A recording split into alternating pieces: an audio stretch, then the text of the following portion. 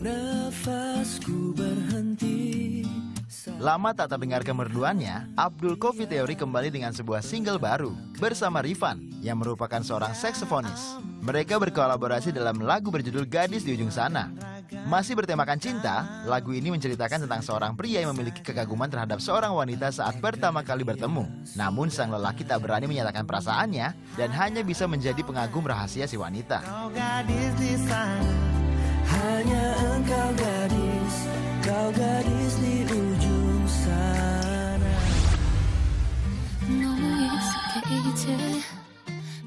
Sistar akhirnya merilis video klip terakhir berjudul Lonely yang merupakan single terakhir Sistar setelah mereka memutuskan bubar. Lonely menghadirkan musik bertempo sedang dengan vokal lembut.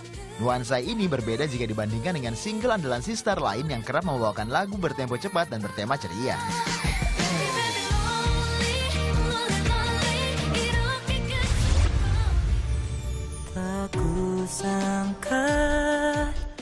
Setelah cukup lama tidak mengeluarkan karya, karena CGR yang dianggap vakum, kini Aldi Maldini merilis single terbaru berjudul Biar Aku Yang Pergi. Dalam official lyrics video yang ia upload di akun YouTube pribadinya, terlihat konsep hitam putih dengan keadaan Aldi sedang menyusuri jalan sendiri dan terlihat galau. Seperti judulnya, lagu ini menceritakan tentang sepasang kekasih yang salah satunya tidak memberikan kejelasan dan lebih memilih orang lain hingga mengharuskan untuk berpisah. Biar aku yang pergi Biar aku yang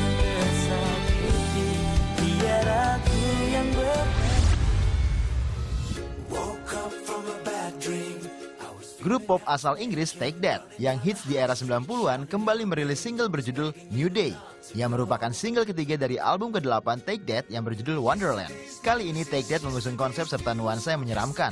Dalam video musiknya terlihat jika Take That tengah menari bersama boneka pengusir burung gagak, petani, sampai badut.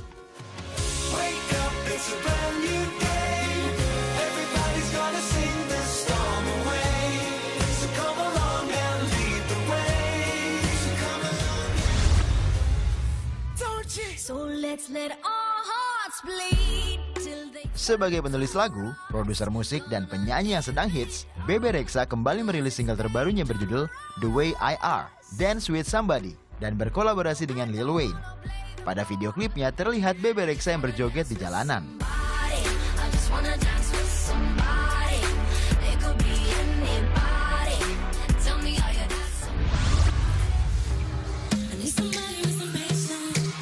Fifth Harmony beberapa waktu lalu merilis single berjudul Down dengan berkolaborasi dengan Gucci Mane. Lagu ini sendiri pertama kali mereka bawakan saat acara Good Morning America.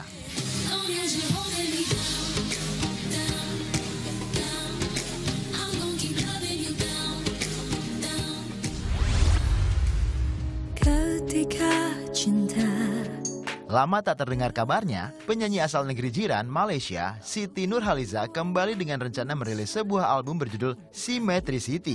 Namun sebelum album tersebut dirilis, rupanya Siti Nurhaliza ingin merilis sebuah single terlebih dahulu yang berjudul Segala Perasaan. Dalam video klipnya, Siti Nurhaliza terlihat unik mengenakan kostum layaknya superhero dengan topeng dan jubah yang panjang.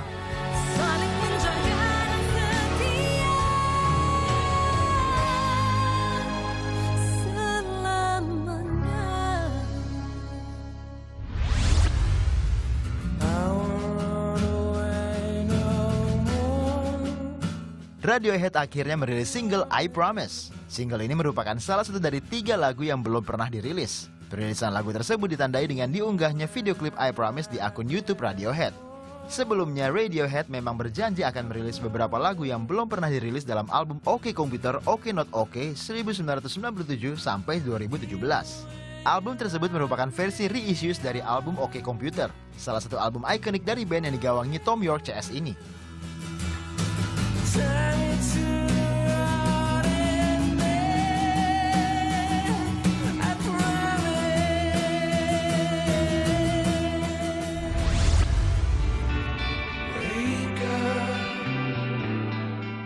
Band rock asal Amerika Serikat, Foo Fighters, kembali menghadirkan lagu terbaru berjudul Run. Video musik dari lagu itu sendiri cukup unik, dengan disutradarai langsung oleh sang frontman, Dave Grohl. Video ini memperlihatkan seluruh personil Foo Fighters yang tampak terlihat tua, bermain di sebuah gereja di depan orang lanjut usia lainnya.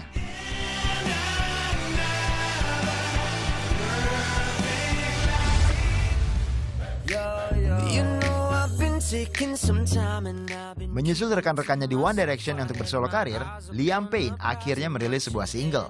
Lagu itu berjudul Strip That Down yang berkolaborasi dengan personil Migos, Quavo.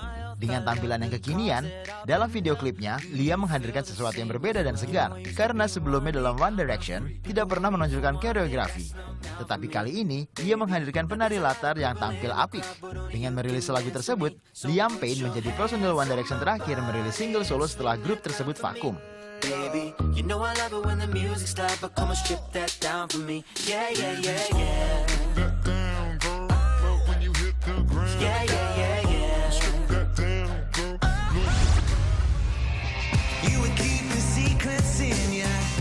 Vokalis dari supergroup Oasis, Liam Gallagher, merilis single berjudul Wall of Glass yang rencananya akan menjadi bagian dari deretan lagu di debut solo albumnya yang akan dirilis tahun ini, As You Were.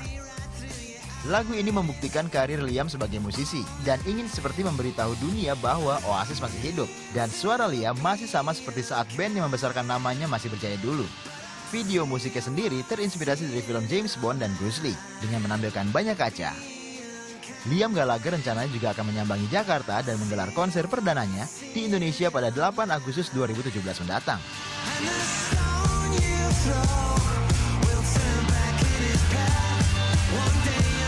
And the stone